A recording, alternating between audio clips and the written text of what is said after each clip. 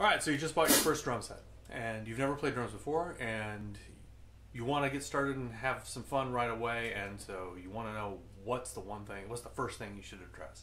So I'm going to teach you the most basic rock beat. Um, it'll be the foundation for other beats that you'll learn that are more complicated, but this one is uh, good enough to go and uh, good enough that you can be dangerous and have a little fun and play around with other musicians while you uh, work on your chops, hone your skills, and get a little better. So, if you don't already know this, most rock beats are in what's called 4 4, which means you're going to count to 4 over and over. So, one, two, three, four.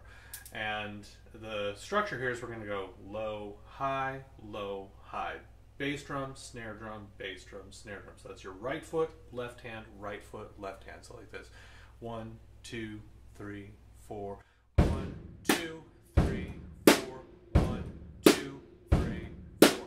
Once you've got that, the next thing you're going to do is add in your right hand playing together with each of those things. So it's going to go together on this uh, hi-hat cymbal, which is the one that's controlled with your foot. You're going to keep it closed with your left foot the whole time and just go like this.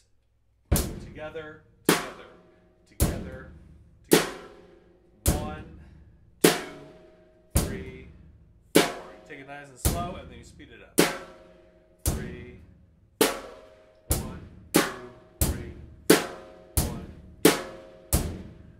The next thing you're to add in is that every now and then, when you're you're playing these measures one, two, three, four, every so often on the, the count of four, you're going to play four notes all in a row as a little uh, drum fill. So it'll sound like this. It'll be one, two, three, four ienda, one, two, three, four ienda, and sometimes you'll do that on three and four. But first, let's hear what it's like on four.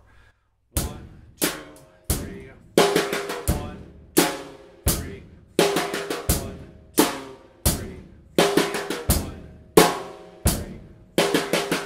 Okay, and if you were to do that on, say, beats uh, three and four, where you go three E enda, four E enda, then let's maybe mix it up and go high tom, low tom, like this. One, two, three, four, one, two, three enda, four enda, one, two, three, four, one, two, three four. Now you notice I'm getting fancy and ending that little fill with my crash cymbal.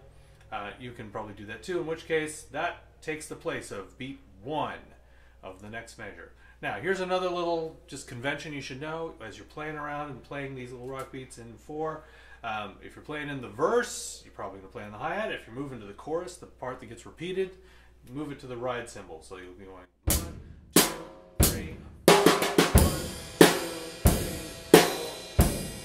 as you change sections of the song. Now, final thing I'll give you is that this is, you know, well, I'll give you two two pieces of advice. First is that even that simple beat, if you play it with conviction and you play it steady, is good. That's good musicianship to play that with conviction and play it steady. So be zen with it, keep it simple, but keep it tight, keep it steady.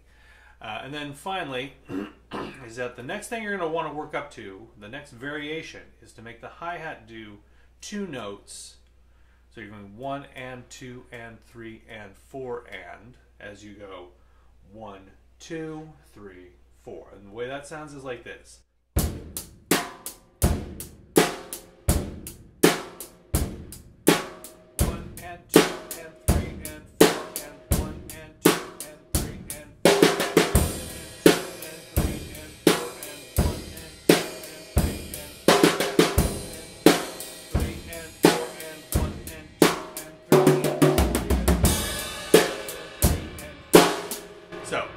That stuff taken together, that's like the the crash course for if you have all those skills, you can sit down and you can play.